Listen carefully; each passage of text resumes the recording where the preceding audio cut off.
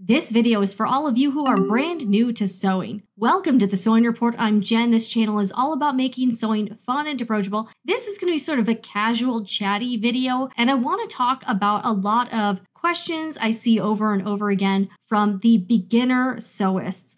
So, believe it or not, I actually do lurk in a lot of online sewing communities, and I'm seeing a lot of questions and topics come up over and over again. So, I actually devised some notes. I kind of came up with some basic things I wanted to talk about. And what I want to do here is try to go through a lot of the very common questions I see and answer it as someone who makes a living with a sewing YouTube channel. I'm obviously a sewing enthusiast, and I've been sewing for about a decade. So, if you are interested in just getting some very basic advice that you probably need to hear if you're new, stay tuned. Okay, first, I really want to talk about the monetary aspect because I think that's something that can come as a shock to a lot of people who are just getting into sewing as a hobby. And I think one misconception from people who either don't sew or who are literally brand new is this whole idea that you sew to save money. And that's generally just not true. I think there are some ways that you can sew to save money on some things, but generally, sewing, I would say, is not the cheapest hobby to have. And if you are trying to do clothing, which I know a lot of the younger people out there, shout out to you. I think it's awesome you're trying to get into sewing. But I see a lot of people posting things like, oh, hey, I'm trying to make this dress, thinking they're going to save money by making it themselves. And I think people are going to get sticker shock when they realize how expensive sewing machines are. Even some sewing patterns are kind of pricey, how expensive fabric is. And at the end of the day, in a lot of the situations, especially when you're making clothing, you don't end up saving any money versus buying something from the store. In fact, it can be significantly more expensive. Now, if you're trying to sew for ethical and sustainability reasons, that's a whole other story. And obviously, making your own clothing, knowing where your clothes come from, is a great way to at least be able to know that your clothes are made in an ethical way and that nobody's being exploited. I think that's a great reason to sew. But in terms of saving money, in a lot of situations, it's just not there. For instance, I'm wearing a very basic t-shirt I got from like Target or something like that. This shirt might cost like $8 at a big box store. Now, if I was going to try to make this t-shirt, I would need a specific equipment because sewing with knits can be a little bit tricky. You often need like a serger, a cover stitch machine, a regular sewing machine, and then you need to buy the knit fabric. And while knit fabric can be a little bit less expensive than other types of fabric, it's absolutely not going to be cheaper than the $8 you're paying at the store. Again, the fast fashion aspect is a whole other issue. I'm just talking about the cost here, but you're not going to be able to buy fabric at probably not and have it be like less than $8 plus you have to count for your time in making the item. So again, I think if you're trying to sew clothing to be like responsible in your fashion, I think that's awesome. But if you're just someone who's trying to save money, this may not be the avenue.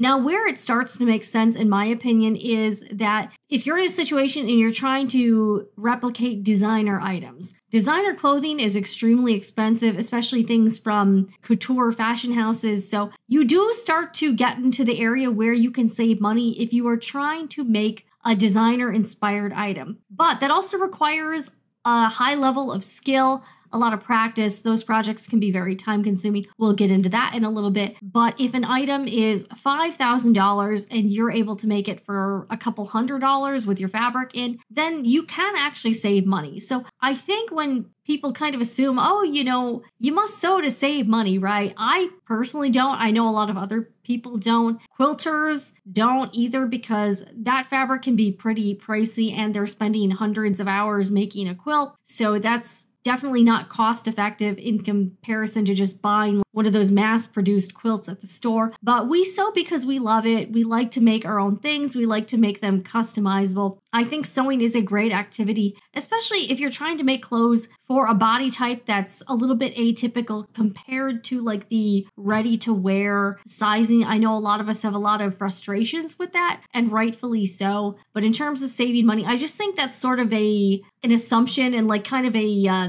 cliche that just is generally not true. One thing that struck me as a beginner sewist was the price of everything. I really had no point of reference for how much anything costs. So when I was getting into it, I didn't know how much to expect to pay for a sewing machine, for fabric, for all of the supplies you need, even for things like acrylic rulers, rotary cutters, marking pens. That stuff really adds up, and I've been able to build up a nice sized collection over time. I did not do it overnight, and I don't recommend you do that. I think as you get more involved in sewing as a hobby, you kind of figure out more what your needs actually are. I've certainly bought things that I didn't need. I thought I did, but then as I got more advanced in my sewing or did it longer, I realized I didn't really need to buy that. I think the other thing that people who don't sew have no idea of is how expensive sewing machines can be and how expensive fabric can be. I had no idea that there were twenty or thirty thousand dollar sewing machines. Back in the day, I actually asked a bunch of my coworkers how much they thought an expensive sewing machine was, and they all guessed something like $200. So in my coworkers' minds, the $200 machine was like an expensive sewing machine, and they didn't even realize that that was more the price of a very entry level like brother machine. I wouldn't say there are a lot of people who sew. Obviously, sewing is a pretty niche thing now. I know back in the day, a lot more people sewed, but it was more out of necessity. And now, because we are living in a more modern society and we have like clothing produced in factories, the need to sew has gone down over time. And obviously, I think there are less people sewing now than there probably were like a hundred years ago. That was something a lot more people did. And that's just something that when you talk to people who don't do it, you realize just how out of touch they are with like what they think sewing is and then what sewing actually is, if that makes sense. And we got to talk about fabric because you can easily drop hundreds or thousands of dollars on fabric. Now, if you are trying to get into clothing, which I know a lot of people who are watching this channel probably are, this is a sewing pattern. And on the back of the pattern envelope, you will have fabric requirements. And many garments require two, three, four, five yards of fabric. And that fabric can be fairly pricey. So I made this jacket a while ago, and if I was going to use like a pretty nice, like kind of tweedy fabric, you know, it might be like 15 to $20 per yard for a good quality fabric. And I actually do recommend trying to use good fabrics. I'm not saying the most expensive fabrics, but quality fabrics, because if you are spending all of this time to make your own clothing, you want the clothing to last, you want it to be high quality. So I personally like to use like nice fabrics in my sewing projects just because it's something I want to keep for a very long time. Now let's take a look at the back of this envelope. All right, if I'm making a size 14, which is about my size in McCall's, and I'm using a 60 inch wide fabric, I need at least anywhere between like one and five eighths of a yard and uh, two and seven eighths of a yard. So you really do need to buy three, at least three yards of this. Yeah, at least three yards of this and that's with a 60 inch wide uh, bolt. So fabric can come in different widths. 60 inches is fairly wide. A lot of quilting cotton, it's about 42 to 44 inches. Some fabrics are about 45 inches. So you kind of need to check the bolt and see how wide the fabric is. But again, if you're, say I'm using $15 a yard fabric and I need three yards, that's already $45 just on the outside fabric. This one also has a lining to it as well. So again, as as far as the cost goes, this might be like marginally cheaper than buying like a store-bought like jacket, but a lot of stores have sales and you could often get like a blazer like this or jacket for about the same price. That also doesn't account for the time you spend making it, and also the cost of your sewing machine, all of the supplies you need, and also like all of the notions, like if you've got buttons or zippers or whatnot. These things really add up, and I feel like a lot of folks don't really know what they're getting into. And that's kind of why I wanted to do this video, is because I see a lot of people, especially on these beginner sewing subreddits and in Facebook groups, people are asking kind of the same questions over and over again. So hopefully this video is helpful. All right, this is a big one and I see it all the time online and I think we definitely need to talk about this. I see this, someone will post like a photo, an inspo photo. It'll be some really complicated ball gown that would require a high level of skill, very tricky to work with, like slippery fabric. It's something that is not the easiest pattern to do, or, and there's not even a pattern for it. And they post and they're like, I want to make this. Do you think this would be too hard? You typically get like very polarizing responses. A lot of people are like, not a chance in hell. Then other people try to be encouraging. I almost kind of feel like they're not doing that person a favor. They'll be like, you know, maybe uh, this you would need to do this, this, and this, and you might be able to do this if you cobble together these patterns. I'm not trying to be discouraging here, but if you are on Reddit or on Facebook and you're asking people about a particular item you want to make, you have no idea how it's constructed, you have no idea what's involved and you're asking the internet, I would take that as a sign that you're probably not ready for this type of project, especially if it's something that is like from a designer house or something you saw on a TV show or in a movie. That's what a lot of them are. They're like, I saw this character in this movie wearing this wedding dress. Oh, also, the people that want to make wedding dresses, I'm like, do you really want to subject yourself to that? And then you get a lot of longtime seamstresses chiming in and saying, I've been sewing for 40 years and I would never attempt to try to make a wedding dress. Are you crazy? And I feel like that slap of reality is probably needed in that situation. So I'm here to tell you, in my opinion, you might disagree. This is kind of a hot take. If you have to ask that question and you don't know anything about the item, I feel like you would be doing yourself a disservice, especially if you're a total beginner, to try to attempt that. I think it would not be a good experience for you. It would probably be extremely frustrating. And the chances of you getting the result from your inspo picture, in my opinion, would be extremely low. And that's happened to me too. I've attempted projects where I had something in my head. I'm like, all right, I want to do this. And then what I ended up getting was nothing close to that. I would say my sewing level is probably sort of like in the middle. I'm not a baby beginner. I'm not an expert, that's for sure. But I think part of becoming a good sewist is knowing where you're at and knowing what you're capable of and then choosing products that are suitable for your skill level. Like, that's the thing. I want sewing to be enjoyable. I don't want to try to bite off more than I can chew and sew something that is going to be absolutely stressful. So I wouldn't do that. Now, I have seen some other, to play devil's advocate, I've seen people say like something like, I do best under high pressure situations. They'll say things like trial by fire, just get thrown into the deep end and you'll figure it out. Now, some people might be able to work like that and may be able to pull it off. I am not one of those people, and I doubt a lot of other people are either. So I feel like telling people that may not actually be helping them. The other thing you have to think about too is if you try a project that you're not going to be able to execute well, you could end up wasting a bunch of time, a bunch of materials, and spend a bunch of money for nothing. So I don't want that to happen to people. So that's why I tend to encourage people to skill build, start off with something really basic. Again, I'm not against learning as you go, but I think there's different levels of that. I want something to be a good experience and a confidence builder. And I think some projects, if you're going way out of your league with a sewing project, I don't think you're probably going to enjoy it. That might turn you off to sewing if you have an experience that sucks. Again, start basic, work your way up. There's nothing wrong with that. Learn as you go, look at resources. There are so many free resources now with YouTube and blogs and everything else that you can learn different techniques and practice. You will get better if you practice and sew a lot. So that's my opinion on it. But I, I'm kind of frustrated by seeing all of these beginners. Again, they don't know any better, posting these just very like difficult and complicated sewing items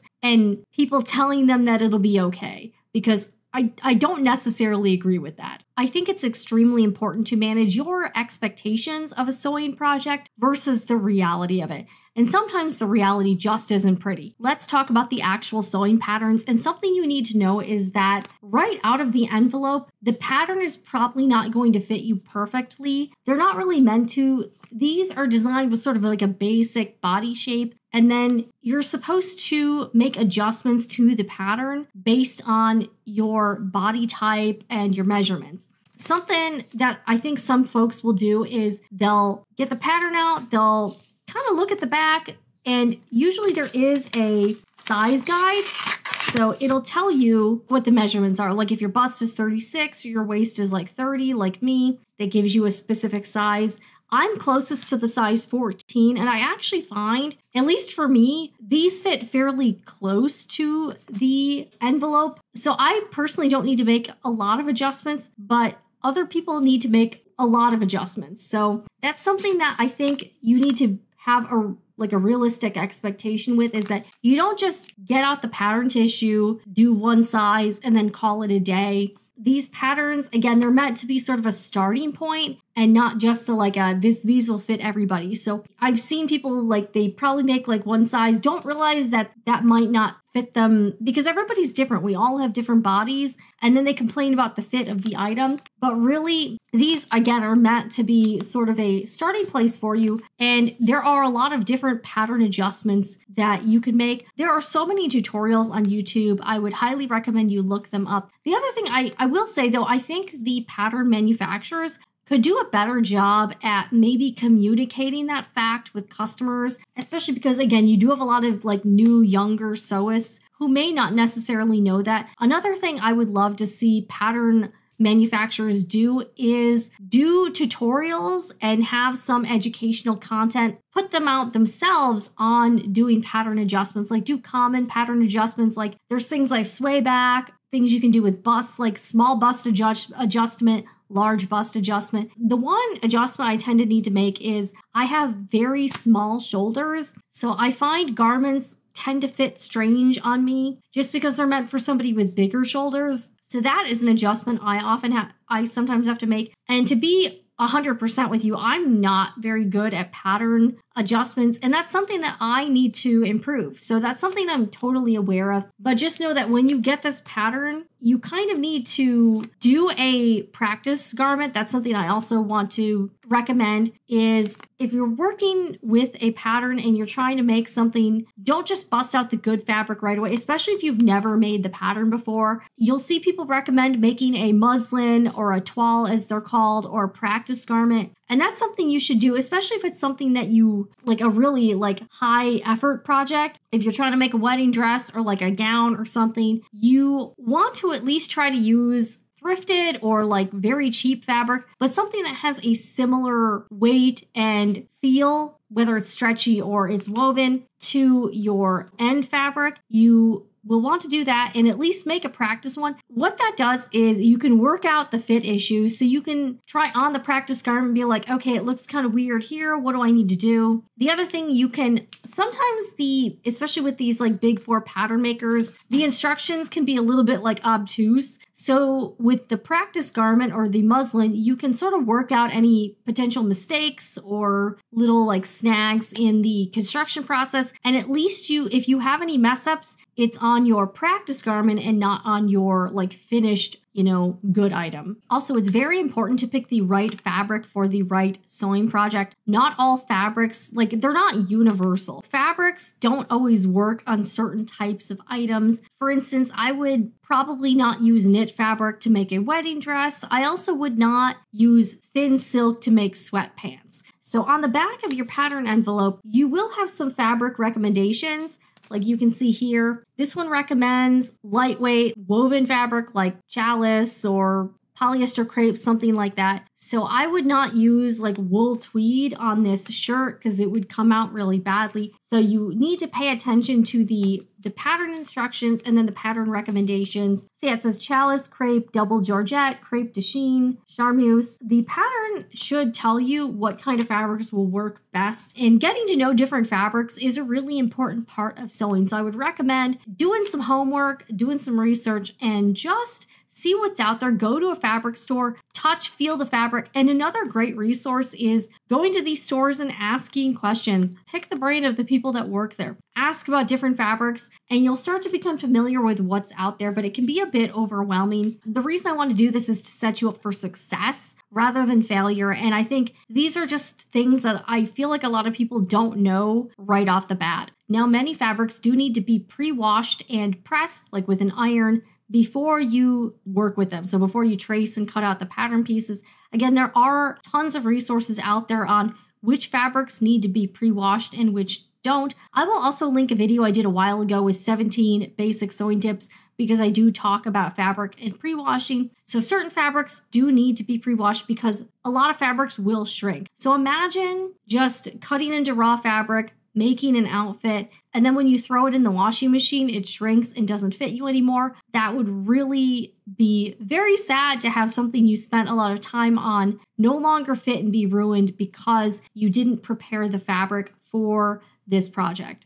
And speaking of pressing, that's something you're going to be doing a lot of if you're getting into sewing or quilting. You're going to want a good iron. Doesn't need to be expensive, just a good steam iron. Have a pressing board and ironing board. I actually made my own because I had no idea how much time I would be spending ironing. And that's something that's really important with the finished item. So you'll get a much better quality item if you're pressing every step of the way. It's very important in sewing clothing or quilting because you need to press out the seams and you need to be pressing as you make the item. It is very important, don't skip it. You will get much better sewing results if you properly press all of your projects as you are working with them. Again, you also don't want to start out with wrinkled fabric, so you need to press all of your fabric before you even trace and cut out pattern pieces or start to work with it. Because again, that can really distort pieces. And that's something that, again, I've even seen people say, I had no idea you had to iron your projects and I just didn't do it. So that's something you don't want to skip. And that's just something I want to convey to you. This one's a biggie for me, and that's avoid sewing on a tight deadline. I cannot believe how many people I see posting, they're like, I need to make this today, and I haven't started yet. They don't give themselves enough time to sew the project and to do everything with it. You need to leave yourself a really good, healthy cushion of time because you're going to be stressed out if you're trying to sew something like, you know, on a deadline. You're also probably going to make more mistakes. It's not going to be fun or enjoyable. Back in college, I had a friend who was going to be in a wedding as a bridesmaid and she was sewing her own bridesmaid's dress and she was doing it like two days before and I was like, Are you crazy? Also, she didn't know how to sew. So she was kind of just winging it. I don't know how the final dress turned out, but I even that back then I was like, that seems like it you might be setting yourself up for a for a bad situation here. She had the sewing machine and she I think she like borrowed it from someone. If you liked working under pressure, hey, more power to you. I hate being under a ton of pressure. So I like to give myself extremely long deadlines.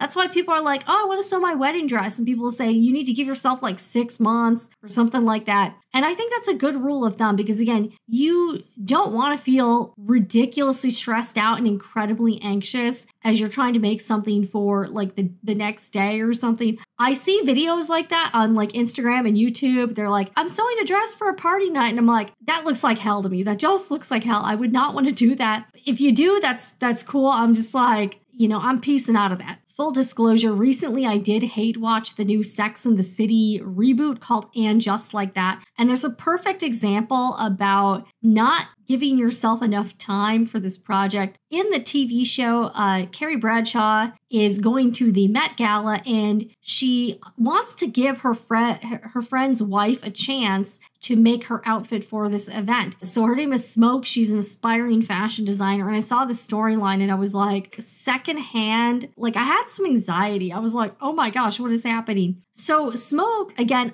I felt like that was incredibly re- unrealistic of the writers because I don't feel like anybody who's in fashion school or has like formal training in fashion design would do this. You would probably start this process months before doing sketches, doing fittings with this this client and you would never just start the outfit the day of the event, which is what was happening on the show. And it ends up being kind of a disaster. So she's trying to make Carrie this like weird tube dress, which also, again, I was like, that looks kind of weird. It wasn't working out. So Carrie ended up having to use another wear a dress she already had to the event. And then Smoke was only able to make like a cape for the outfit. So that was her contribution. And that's the thing, that was supposed to be like her big break, designing an outfit for a local New York celebrity. And she just totally like screwed that up. Didn't give herself any favors by starting literally the day of Uh, the day off, you should be doing like, I don't know, final adjustments, but there should be nothing major you're doing the day off. That was just insane. I was like, what is going on here? But that's why you should not be putting yourself in situations where you are under extremely tight deadlines. And that brings me to my last point is that the point of sewing, at least for me, and what I want for all of you, is to be enjoyable and fun. And if you're not having fun and you're really stressed out, that's that's not a good thing. So just remember relax a little bit. That's why I gave you these suggestions is because I want this whole process to be stress-free, to be enjoyable, to be fun, to be a learning experience without you feeling like you're like under the gun. You know what I'm saying? So that's why I want to do this video. If you are watching this and you have more experience and you would like to leave a tip, like kind of a basic tip for a beginner sewist, leave it down below in the comments. But I hope you found this video helpful. Be sure to hit the like button. You're welcome to subscribe for more sewing videos like this. I'm Jen with the Sewing Report. I'll see you again in the next one. And remember, whatever you're doing, make it fun.